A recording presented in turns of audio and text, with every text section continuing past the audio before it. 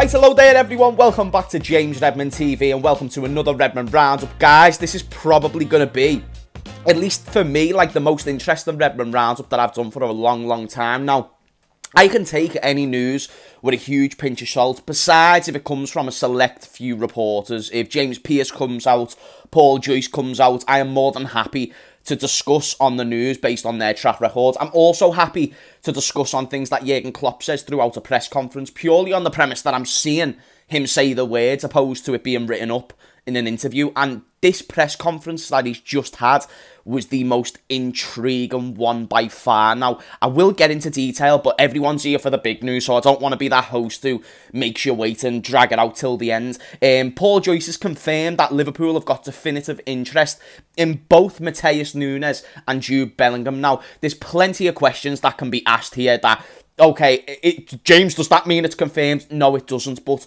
in terms of the actual interest, at least it legitimises it even more. But let me go back to the old analogy of the dominoes. Listen, you could want a six pack. I want a six pack. You want a six pack.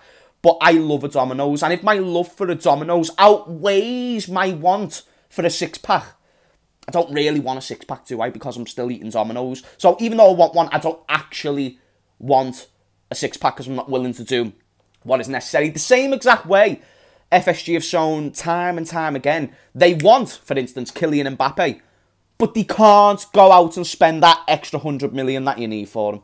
I mean, a bit of an out there example, but you get the point. And I feel like with Jude, a same thing could apply. All it takes is for another big team with a more promising project to come out and basically say, right, we'll take you, and then he could go there.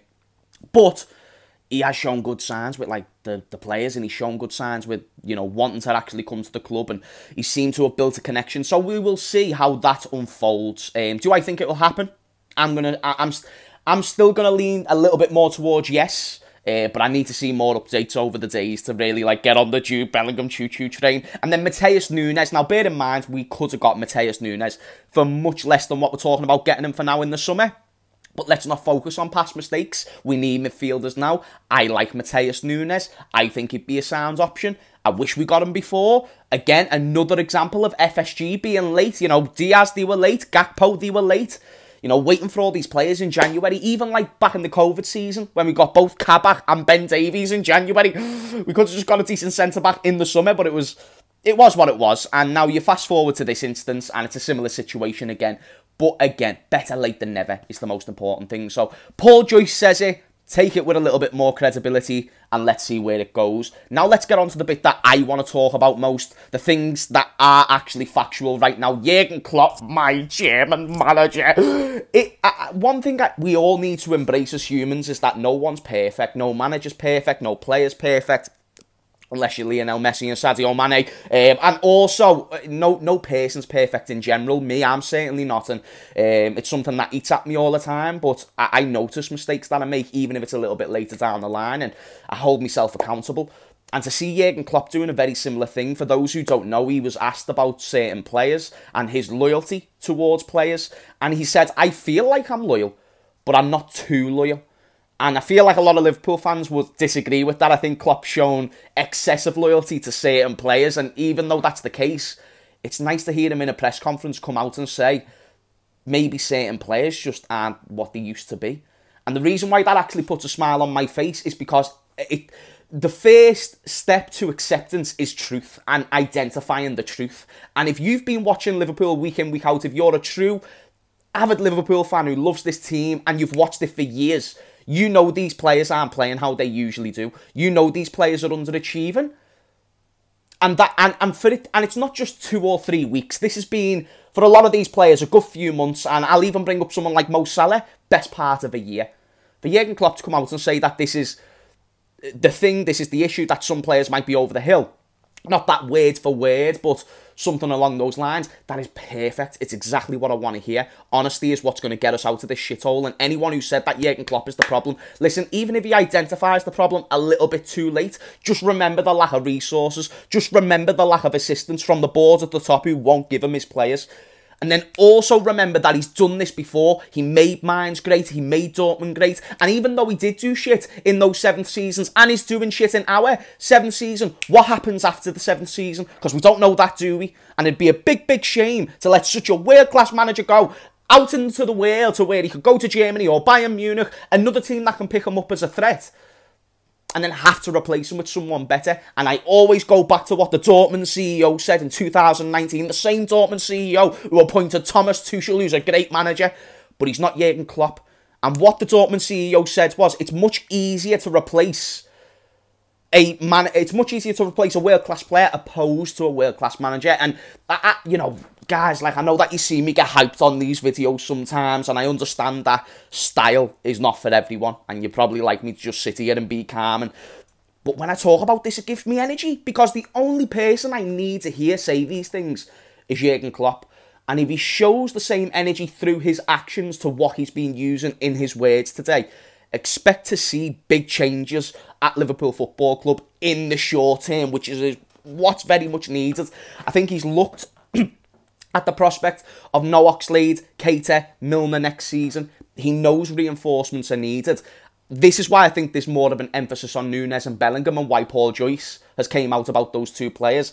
And that's the start. That's where we need to go. And although people might not like the idea of the Tyler Mortons of this world getting a chance and stuff like this, Tyler Morton will put in way more of a shift than what Fabinho would have this season. I've watched Tyler Morton a few times at Blackburn. Believe me, we would have got way more points. Not way more, a couple more points with him in the team opposed to Fabinho. Let me tell you why. Because he aims to break the play. He aims to read the game. Fabinho isn't even trying to do these things. You can see it when he's playing. And it's the same with a lot of other players. What did Ilkay Gundogan say for Man City last week? A few of the players might just not have the same hunger. These are great players. These are players who have just won multiple Premier Leagues. And what's the point I've been saying? There's no incentive for a lot of these footballers. Now let's go and get a bunch of footballers who are hungry motherfuckers. And let's say we get Jude. What a signing because he's not chosen us based on like money. Because we don't. We, it, and when we say we don't have money, we don't have money into the Real Madrid, who are the only other team who can buy Jude. We don't have money in comparison to PSG, who are the only other team who can buy Jude, along with four or five, who can offer them more wages than us.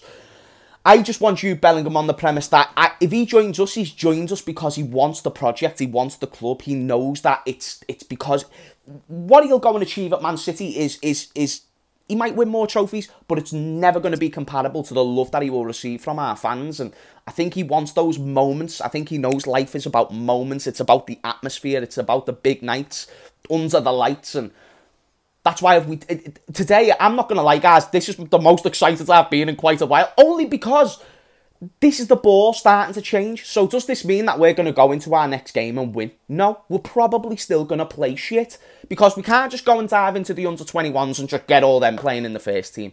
We've still got to persist with the underperformers to some degree until Jota comes back, Diaz comes back, until we get new midfielders.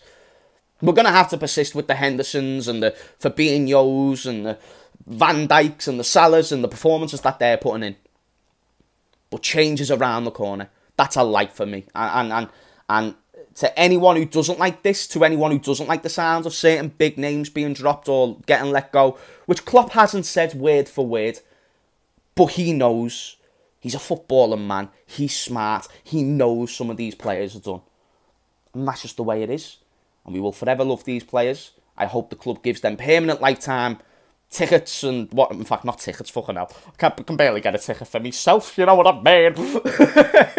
Um, but whatever you get the point. Like treat them well. Treat them for what they are. Treat them as kings. Now time to go. Um, shout out to the Arsenal fan TV it's time to go bloods it's time to go. I didn't want to use it but it is for some of these players and again honesty is the best policy and that's why I think us taking the honest approach opposed to the emotional, oh, let's keep Firmino for 10 years, let's keep Salah for 20 seasons, the Egyptian... Fuck you off. Swerve this bullshit. It's like Jurgen. And I hope that these words don't just mean nothing. I hope to see change. I hope to see action. Even in the short term, give me Fabio Carvalho. Stop giving me Oxlade Chamberlain. Stop giving me starts from Mohamed Salah. But I understand all those changes won't be made As long as I see the changes within the next six to 12 months, that's all I care about. And yes, I am willing to be that patient with a manager who has lacked resources to this point. But we'll see how it goes. Anyway, guys, that was a long boss Redmond round of energy, energy, energy. Oh, lads, I've missed doing like happy shows and shit. You see what happens when Liverpool play well? You get happy James and we're playing sick. I, I can be a little bit shameless. And let's just get new owners with loads of money as well, and then we're just a great football team again. Anyway, guys, please smash your like, but only if you enjoyed. Um, smash a dislike if you didn't like the video. I'm honestly, like, really pleased. Let me know in the comments down below why you didn't like the video. And uh, much love to you and your mothers. I'll see you all in a bit.